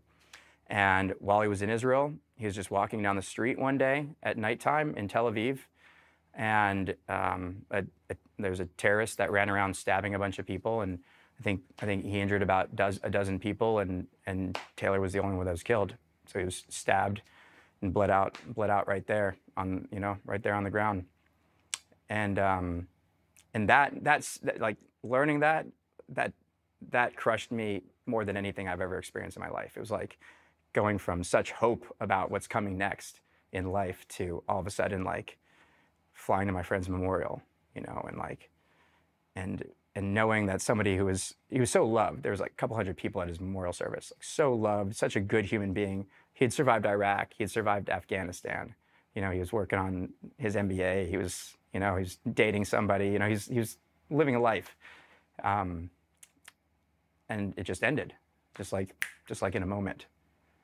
Um, and it, it really crushed me. And it, and, and it didn't just it wasn't just that, but it was so much other trauma that was really unlocked through that, like the trauma of losing my father to suicide, the, the trauma of you know seeing seeing violence and death in war, you know, the, child, the, the, the trauma of a really challenging childhood. It was like all of that kind of kind of felt like it dumped on me right as I was at this very consequential pivot point in my life for the first time of going from soldier to civilian.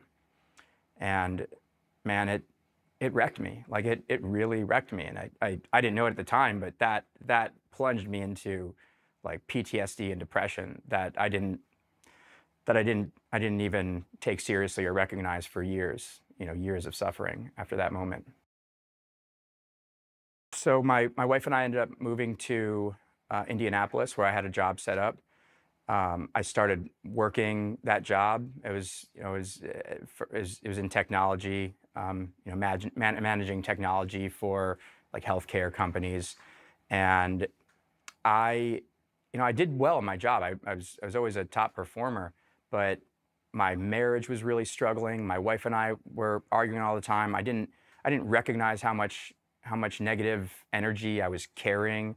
Um, I would sit out on my, I mean, I would sit on my balcony at night, like by myself, just just weeping, like thinking about my friend Taylor, thinking about like you know how how tragic it is, thinking about how tragic life is, and and just not able to pull myself pull myself out of that space, and and at the same time I was away from the camaraderie of my military unit, so I didn't have I didn't have friends in the new location. You know, I didn't really even know how to make friends at that point in time. Like usually, you show up to a unit and your friends are kind of built in.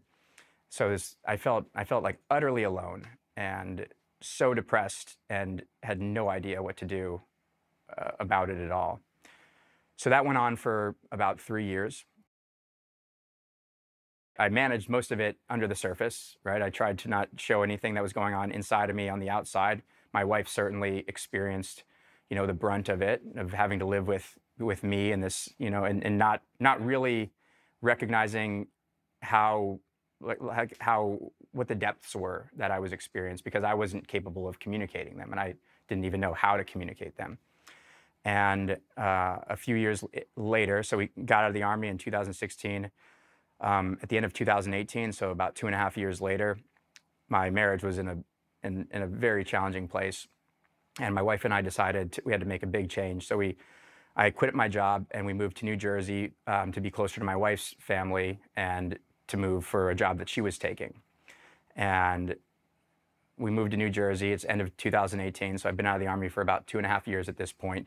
And I'm starting to interview for jobs. And I just honestly, like, I get I got offers to a bunch of like very good offers to different jobs, and I couldn't I couldn't fathom going back to work at that point. I was so devastated in my life, and I was, didn't feel like passionate about anything. I felt like I felt lost, and the idea came to me to hike the Appalachian Trail.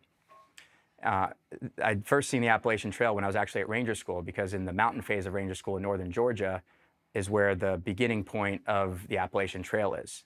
And I remember seeing it on a map while I'm doing like, you know, doing, doing Ranger School, like fully camoed, you know, with all my gear. I remember it was like March and we're doing a, an operation and, and I remember seeing the Appalachian Trail on the map and it's at nighttime and we're walking by some tents and I remember seeing like some some campers or whatever hikers like peek their heads out of the tents and see a platoon of like fully armored rangers coming at them, which must have been ter- terrifying, like Red Dawn, you know, something crazy.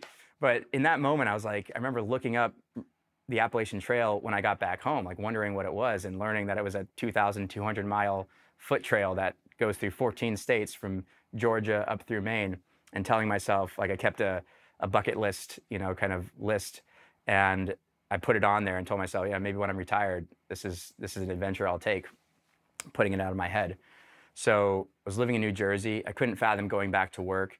And now it's like January, February of 2019. And it's coming up on the third year anniversary of my friend's death on March 8th. And I I don't know why, but I just told myself, I'm gonna hike the Appalachian Trail. Like I'm going to do it right now. Like I'm not I'm not going to go back to work. I need to take a break. I need to take time for myself. And I decided to um, start hiking the Appalachian Trail in Georgia on March 8th, 2019, the third anniversary of my friend's death. Um, and I used that time to to write a lot, to reflect. My friend's family, Taylor's family, sent me his dog tags, so I carried his dog tags on my shoulder, on my pack, the entire hike. You know, I got and I got to get used to telling his story and I spent four months, 123 days hiking from Georgia to Maine. And I met a lot of other veterans and a lot of other trauma survivors along the way. I met I met Marines who were, you know, EOD, you know, explosive ordnance, who, you know, their their job in Iraq was detonating IEDs, and they had lost friends who had, you know, blown up right in front of their eyes, and friends who had gone back home and, you know, had, had ended their lives. But it was the first time I really got the chance to start to talk about the trauma that I experienced and recognize that, you know, so many other people have very extreme traumatic experiences and we don't really get to talk about it. But on this on this hike, you know, it's like you're you're in an environment where you cut through all the bullshit. You know, there's no need for trivial small talk, right? You just get you meet really interesting people. I met I met Marines, I met, you know, Air, Air Force veterans, Navy veterans, like guys that are still some of my best friends to this day. And we were able to connect so deeply because on these on this hike, we could have real conversations, you know, out of out of the normal bullshit of of life that we deal with, and we're not, you know, going back home, you know, going like meeting up once a week. We're like we're in this together, and it really felt like it was the start of my healing journey. Um, you know, I had friends that I met who were Marines who were recovering alcoholics because of their, you know, the, the, the experience, the trauma that they had. And they were using this hike to, you know, be away from substances and hold each other accountable. So it was, it was a, it was a great lesson for me in, in learning about other people. And, and every time people would ask me about my dog tags, right, it was like, it's hard for me to talk about it. It's like, I'd start crying every time I told the story. So it was like getting used to, for me, um, starting to starting to process that trauma and you know just through just through constant conversation. And every time you know i was able to talk about it right there's a level of vulnerability that you open up and then other people share their traumatic experiences with you. And you know i started to feel less alone. And then by the end of the hike um, it took me four months to the day. So i started march 8th and i finished on july 8th and that very last summit in maine it's a very hard hard mountain to climb. It's called mount katahdin in baxter state park um, my friend Taylor's family, his parents and his sister came out came out to Maine, and um, Taylor's dad and sister and my wife climbed that very last mountain, and we get to the very top, and you know I touch I touch the terminus sign of of the Appalachian Trail, and it's like I've just hiked 2,200 miles, and um, I remember reaching up and I took took the dog tags off of my pack and I went to go hand them back to Taylor's dad, and he said, they're yours to keep. So, man, it was it was an incredibly powerful, powerful experience there. Like you know, like sharing in that trauma and and and uh, just re- recognizing the the gravity of of like what I had accomplished and um, you know how I was how I was remembering my friend, and uh, you know that after that, we hiked back down the five miles down the mountain and I started my drive back to New Jersey. I was just gonna ask, did you walk all the way back? Man. Man, you know, when I got to New Jersey, it was like the seventh or eighth state on the Appalachian Trail, and by that point, I'd hiked 1,200 miles, and you know that's where grit and perseverance kicks in because it's like I was I remember telling myself it was my 10th anniversary when I was going through through um, through New Jersey, and I went home it was Memorial Day weekend. I went home and spent that weekend with my wife. And it was so hard to get back to the trail and start hiking again. Because I was telling myself, well, I've already hiked 1,200 miles. I can do another 1,000 miles, theoretically, right? But it's very different than getting back out there and hiking those miles. And so getting started back up and hiking the rest of the way, like it took grit and perseverance and dedication. And you know, it was another reason I was glad to be carrying the dog tags because if I didn't have a purpose, you know, maybe I wouldn't have chosen to finish it. But if I didn't have a purpose, maybe maybe I wouldn't have started in the first place. So I get back to New Jersey. It's it's uh, about July August of 2019. You know, I was blogging during my hike, and um, I had a boss who was kind of following my journey, and she reached out to me uh, like September, August of of of that year. So like right as I was getting done with the trail, and she said, "Hey, you know, I'm hiring at my com- my new company. If you know, once you're done hiking, if you want to get back into work, I'd be happy to you know bring you into my company. You know, I know you're a top performer, or whatever." And then, so I said, "Okay, let's check it out." I interviewed for that company, and I I took the job, and I was uh, that the, it was another technology sales job. And the beginning of it, there was a lot of travel to our headquarters in Dallas, Texas to do like sales training. So I remember for the first six months, I was flying to Dallas from New Jersey um, for six different weeks, going through training at this time. And it was spread out over those six months. So during that time, I actually went and saw the VA and I talked to them about mental health. And I was diagnosed with PTSD and put on antidepressants. And it was the first time I really started to take my mental health seriously. And I didn't want to be on antidepressants, but I was willing to try anything because I didn't want to be in pain anymore. On the, the sixth, the, that sixth week of training, it was about six months into my job. It was the, the last week of February, first week of March of 2020, which is right when the pandemic started happening. So I was literally at, at my headquarters, um, like graduating from this program with my CEO, like, you know, recognizing all of us. And he said, hey, you guys have heard of this this pandemic thing that's coming. You guys, like we were a 50,000 person company. He was like, you guys are gonna, you know, after graduation, obviously you're flying back home, and that's the last travel that's being that I'm authorizing for the company until we figure out what this thing is. So I literally flew back home, and I was in New Jersey, like close to New York City, and you know it was like the epicenter of of the pandemic. So literally got home, and all of a sudden it was the pandemic was upon us. And my wife was working at a hospital; she was in healthcare, so she was inundated with her role. My job went fully remote. Like my wife's job went mostly remote. We were working and living right on top of each other in a small apartment in New Jersey. And it was it, like when that happened, when that pandemic happened and everything changed, like I thought things were going in the right direction. Like I was getting back into the flow of work, like starting to make friends a little bit. But the pandemic became a huge setback. And all of a sudden, my wife and I were bickering again. We were not, you know, we're not getting along. I, I, I wasn't feeling any better from my depression, you know, from the antidepressants. And um, and in that time, I had heard, and this was really interesting. A friend told me because he knew that I was struggling. He, um, he told me that he had heard about something called psychedelics and magic mushrooms, and that they were they could be very effective for mental mental health. And for me, it was like, wait, what? I thought these are, they, you know, these are what hippies do to get high and like, you know, trip out. And so I started doing research, and I and I learned about psilocybin mushrooms, like magic mushrooms and I didn't know how to acquire, you know, mushrooms. Like, uh, I'm still like a, you know, West Point officer in my mind. Like, drugs are bad. You know, I shouldn't be.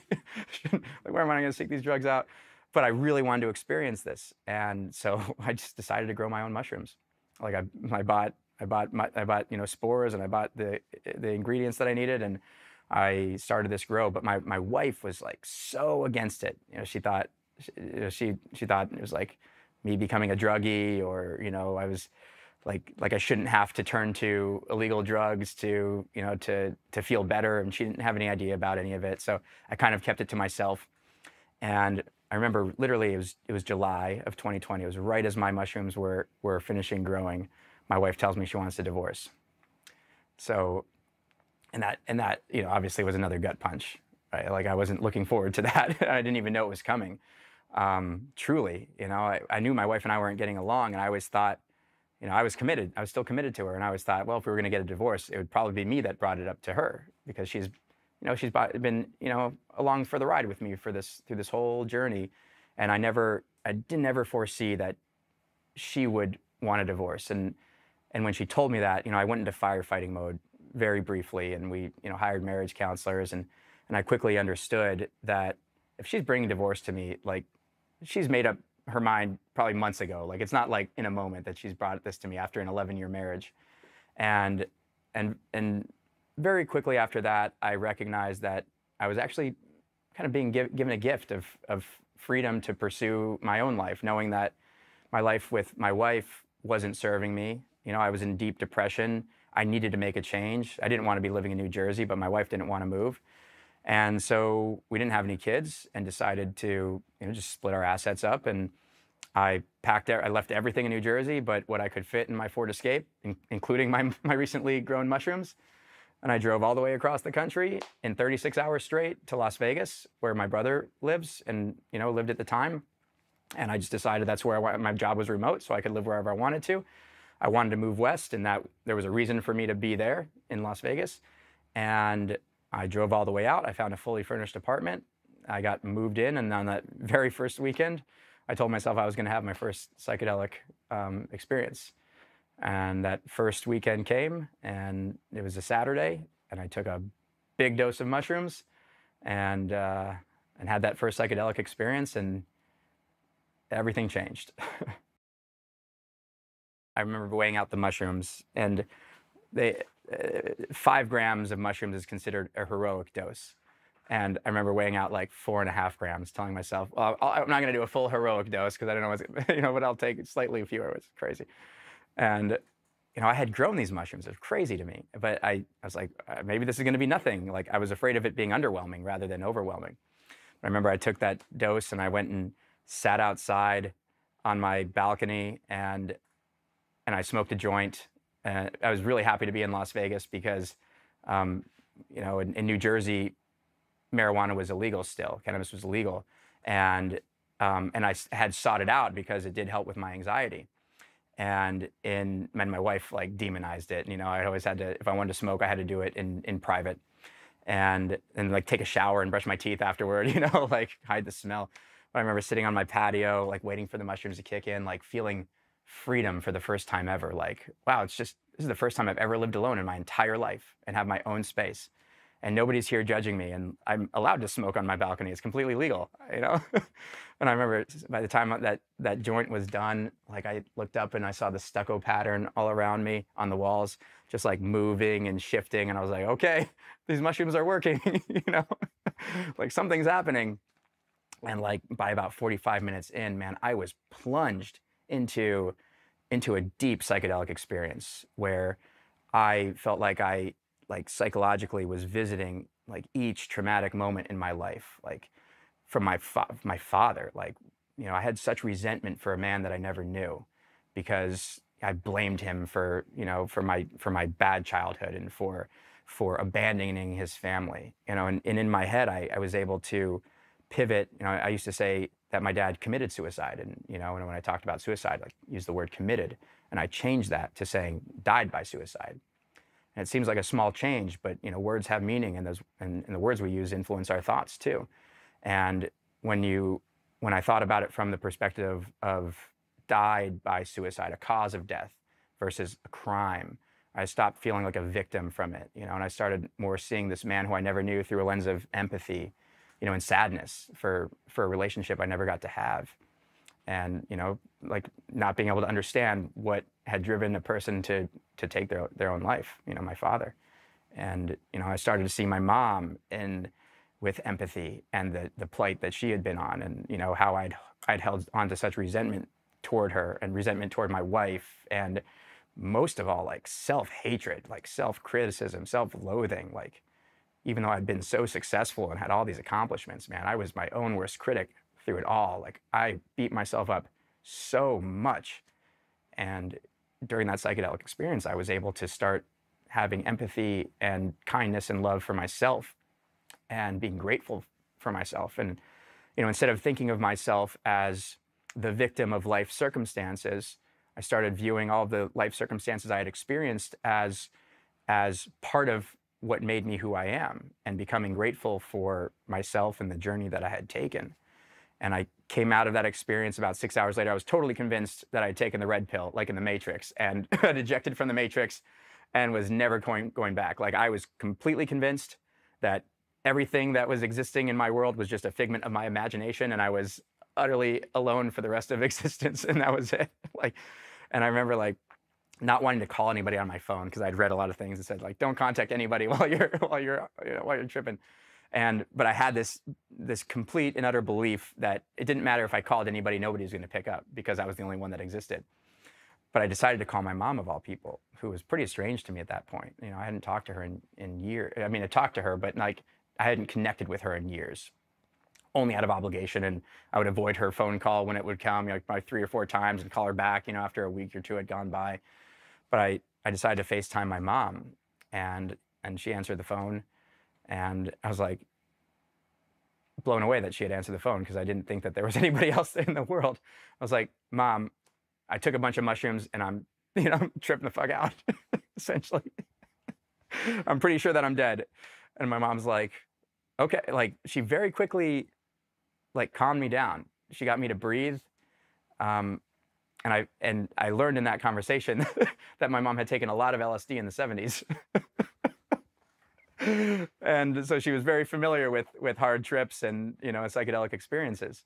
And we connected on that. And you know i talked to her about the entire journey of my experience and the you know what i had what i had learned and what i had overcome and what was changing in my mind. And you know we talked for probably two hours and i hung up the phone and and then I sat and watched YouTube videos the rest of the night about about mushroom trips to be like, what the fuck did I just experience? Because it was so intense and so life changing and I and I wanted to comprehend what I had just gone through. I remember waking up the next day and getting up and going for a hike. You know, outside of Las Vegas, there are a lot of mountains, and I and I love that about Vegas that there's a lot of outdoor space. And I went for a hike. And I remember taking like some pictures of myself, you know, some selfies while and like posting them online. And I remember my wife, who I was still in contact with because we weren't divorced yet, you know, our divorce was still being finalized. And we were still communicating in a way that was like, you know, like, all right, like we were still, we were still rooting for each other. You know, we were still, I wanted her to be happy. She wanted me to be happy. And we were trying to do it as, as, as you know, as healthy as possible to, to set us each up for success. So I remember she sent me a message when she saw my picture and she was like, Josh, I've never seen you, like, I've never seen you that happy like that's your your smile doesn't like she was like you're glowing in the picture. Your smile looks real. Like like now I've looked at your other photos and it and you know I I, I recognize something different in you. And I heard that from multiple people. I was like what? Like there's no like there's no way you know? But I felt joy in my heart that I didn't like have had never experienced before. Um, not that everything was solved but like it was a big paradigm shift. And and it was it was a recognition in that moment that I had gone through some significant change. And I was at the start of a brand new phase of my life that was that was mine to determine what to do with it. And it was a very exciting and liberating and gratifying period of time. So I, I, started a psychedelic company about a year ago.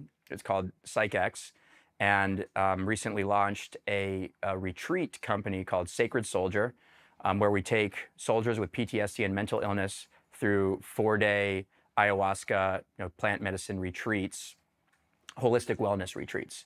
So um, we certainly use ayahuasca and psychedelic um, substances, but we create holistic wellness programs that that include things like yoga and meditation and breath work and you know different different holistic wellness um, techniques that we couple with with these you know incredible experiences under psychedelic medicine um, with other veterans and a supportive community um, over the course of these four days that are incredibly transformational for individuals who who suffer from PTSD and mental illness, you know, and, and, and addiction and and other forms of trauma. I mean, I've seen such incredible transformation, you know, just like I've seen in myself, I've seen it in so many other people because of this specific work. And so it wasn't a straight line to opening this company. You know, so I, my first psychedelic experience was almost four years ago, and then I spent the next three years really, really having two lives, like a professional life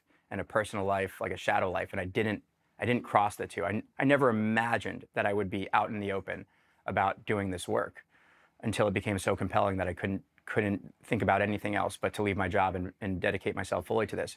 But over the course of those first three years, you know, I continued diving deep with myself I, I started work. At any friends that I had who were veterans who were who were struggling with PTSD, I would invite them to come visit me in Las Vegas, and I would take them through the experiences and see these eh, you know incredible transformations just like overnight. At, at that time, it was just with mushrooms and just you know sitting together in my house and helping somebody work through you know their trauma from from war, their trauma from you know survivor's guilt from whatever.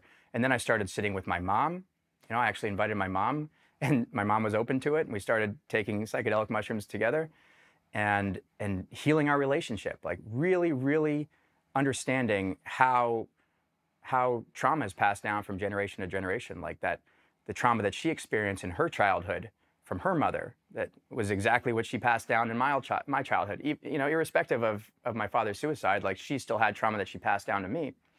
And even seeing how my siblings pass it down to their children and my mom and I decided, you know, we were we were gonna we were gonna end that cycle. You know, we were gonna really heal, and we went through that effort, and it's been it's been a beautiful journey with my mom, and really feeling like I've healed that that that wound with with my only surviving biological parent, with the person who brought me into this world, which gave me a lot of resolute foundation for continuing this journey that I've been on. So about a year ago, I finally decided that I wanted to to move into this industry. I didn't know what I wanted to do. I was terrified to come out, you know, come out of the psychedelic closet and talk about the like talk about my experiences and and it felt like kind of a burn the bridge or burn the boats moment where it's like, all right, there's no coming back from this. Like, I'm I'm I'm either all in or I'm or I'm not in at all. And I decided to be all in. And I decided to be all in. Where it started was going. I went to a psychedelic conference in Denver last year, um, and it was a week-long psychedelic conference and ended up being the largest psychedelic conference in history. There were over like 12,000 people there and 500 speakers from like Aaron Rodgers talking about his ayahuasca experiences to, you you know Michael Pollan, who wrote the series How to Change Your Mind. You know, there's all like Rick Rick Perry, the former governor of of, uh, of Texas, talking about his support for for psychedelic medicine because he saw how transformational it was for a Medal of Honor recipient that he sponsored. You know, and everybody across the board. And there were so many veteran groups that were that were all all collecting together here at in this. I mean, that was one of the biggest um, the like the biggest demographics of people at this conference was they're like veterans you know there's indigenous communities there's physicians and doctors and enthusiasts but but the veteran community was so well represented and and outspoken about how impactful like you know an ayahuasca experience had been a mushroom experience had been you know healing healing together with other people under you know in in in in ceremony with psychedelic substances and how it helped you know people change their minds and and and get past suicidality and, and self-harm and things like that and alcoholism. And i was i was finally like wow i've found my tribe. Like this is where i belong. And and i moved very quickly from that to um, taking a leave of absence from my job and and really thinking hard about the type of um, company i wanted to open and how i wanted to get into like i didn't know anything really about entrepreneurship at the time but how i was going to get into the industry and just start a business and I had saved some money and I, you know, I had some mentors and I just decided to leave my company and and and start and start my own. And over the course of the last, you know, last 6 or 8 months since I've been on this journey, man, I have seen just such incredible powerful transformations happen right before my eyes. I mean, like literally people showing up who it is their like very last ditch attempt, you know, that they've tried everything, that they've been on, you know, dozens of pills from the from the VA and have been taking pills and it's just numbing them and they still feel depression, they still feel hopelessness and they've already tried to attempt suicide multiple times and they're like, you know, I'm I like I don't want to live anymore and show up and come through an experience over 4 days or just sit in in a one day ceremony and feel the power of the combination of medicine and support and community and connection, like connection with yourself, connection with other people, and and get out of you know get out of their own heads the same way that I did on my mushroom trip, and come up to like the thirty thousand foot view and recognize how beautiful life is. You know, like recognize inside, not just not just logically in your mind, like telling yourself, oh, I shouldn't I shouldn't feel depressed, but actually not feeling depressed anymore, and like feeling what that feels like in your body. And I've seen that just happen time and time again. And it's not just extreme cases. It's not just people that are like ready, you know, ready to end their lives.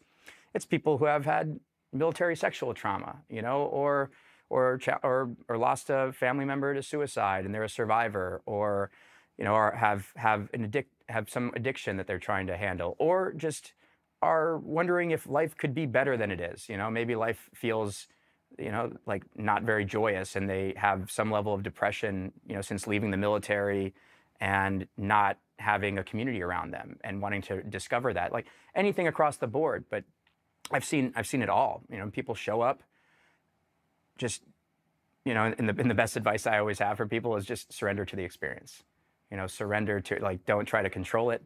Just be just just welcome welcome the medicine you know the, the medicine being you know ayahuasca mushrooms whatever the, the psychedelic medicine is but the medicine also being within yourself which is choosing to take the healing journey seriously and choosing to put yourself first, like on an aircraft when you're told, you know, put your oxygen mask on first before helping other people, right? Like we're, a lot of us, especially veterans, we're very selfless people and we put ourselves last often.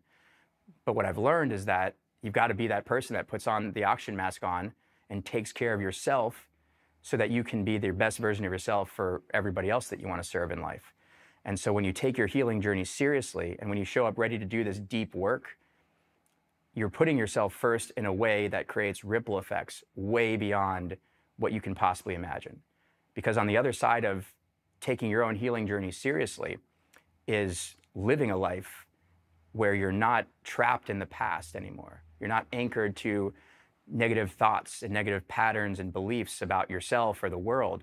And, and I've really experienced that you become free. You become free to become involved in your in community and society and your children's lives and take on new hobbies and develop friendships you know, and, and wake up with a smile on your face and connect with your parents who you haven't seen in a while, right? Because you're getting out of your own way, because you've decided that it's time to heal whatever's holding me back, to trust the process, to trust the unknown that's on the other side. And then once you arrive on the other side into that unknown, finding it to be a place of freedom, you know, that, that, that is, is now the new foundation, you know, the, the higher level foundation that you're operating from anymore, you know, for, for, for, for this point forward and it sustains. It sustains beyond the ceremony. It sustains, you know, months into the future. And if it's properly integrated back into the way that you go about living your life and the way we do it with our company is we provide continuous support and community support and integration guidance and things like that beyond just showing up for the retreat and going home.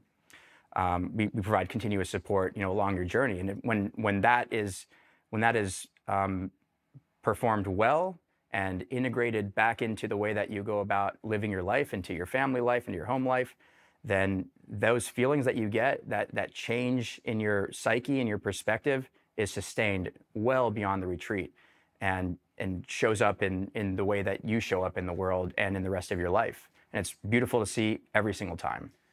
Guilt and shame is something that a lot of a lot of people carry. I think everybody carries in some way or another. And some some cases are much worse than others. You know, some people you know, I've I've met people in ceremony who who open up about some of their you know darkest secrets afterward because they're comfortable and they've it, they've been able to bring it to the surface. Like, you know, I've I've met people who have who have you know hit hit and run, for instance, and carried that that guilt of ending somebody's life forever, right? Like think like yeah, you, we can judge that person for doing that thing, but then that person judges themselves and beats themselves up you know, and lives with their own form of trauma for forever, right? After that, the the experience of going through this healing journey, it is it is deep work because in combination with the medicine, the medicine is allowing you to create connection to yourself and to understand where all your thoughts and your patterns and your beliefs are coming from and why your tendencies are what they are. The idea of like confession or like confessing your sins to be absolved is very different than the process of going through, say, an ayahuasca ceremony. Because you're not, it's not like you're showing up in a confession booth and you're saying, you know, forgive me, Father, I've sinned and, you know, like I've, con- you know, committed adultery or something like that, right? It's, it's not that. It's, you really create a, a line of communication to what I would consider to be like source energy. You know, you could call it God or universe or something like that. But when you open yourself up to this medicine, there's a there's a spiritual nature to it and a connection to yourself and to something greater that you you really you really feel like you feel you feel fully. It's not logically like I have faith. It's an inner knowing. And that inner knowing that comes with these ceremonies, and especially being surrounded by other people who are all going through their own transformational journeys. You know, you hear people you know, crying, some people are purging, you know, throwing up, and and you get this collective sense of a release of trauma. It is a literal release of trauma. A lot of people are afraid of going into an ayahuasca ceremony thinking, oh, I don't want to throw up, I don't want to purge. The purge is beautiful, and it doesn't happen to everybody. Um, a lot of people don't purge, or they purge in different ways, like laughing or dancing or yawning, but a lot of people do vomit. Um, and that purge is essentially the medicine in your body releasing energy that doesn't serve you anymore, like releasing that negative energy. And when it's out of you, you feel, I mean, you feel so much better. You feel lighter. You feel like you've actually, you haven't just removed like whatever you're puking up, whatever food you ate earlier. You're releasing energy that doesn't serve you anymore. It doesn't take you confessing your sins to do that. It face, it takes you, and in, in combination with the medicine and the ceremony and the experience, um, reconciling with yourself what you're carrying and why you're carrying it, and then releasing it and choosing to release it. And then on the other side of that, feeling deeply what it feels like to be without those that negativity that you're, you've been carrying for who knows how long. If this has piqued your interest in any way, like find out more information, connect with us because it's so important. If you hear this message and it resonates with you in any way, to just to just take a look, take a deeper look and see if this could be right for you. You can find us at sacredsoldier.com that has all the information about our retreats. You can also find out more information about psychedelics in general um, through our company P-S-Y-C-H-E-X dot com. And you can find us on Instagram. We're, we're, we're very active on Instagram at, uh, at Sacred Soldier Retreats or at Join Psychex. And on those channels, we, we put out a lot of information about our retreats that are coming up, about the benefits of psychedelic medicine and community, to healing from trauma, and especially for, for veterans and PTSD and mental illness. And on our Psychex platform, we also talk a lot more about uh, about psychedelics in general, Psych, like information and knowledge to know about psychedelics, about psychedelic legislation, about the medicine itself.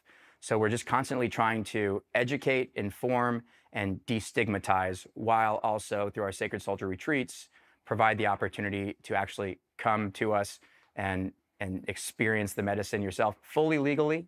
We operate we operate with a ayahuasca church who um, conducts all of their their work, their ayahuasca work, completely above board.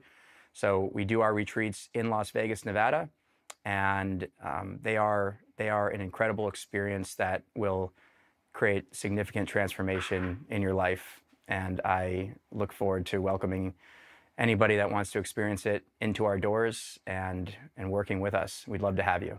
I just encourage everybody to take their healing journey seriously and know that, you know, putting that oxygen mask on first, really taking care of yourself, really healing, you know, the deep wounds that a lot of us carry frees you to live such a higher quality of life.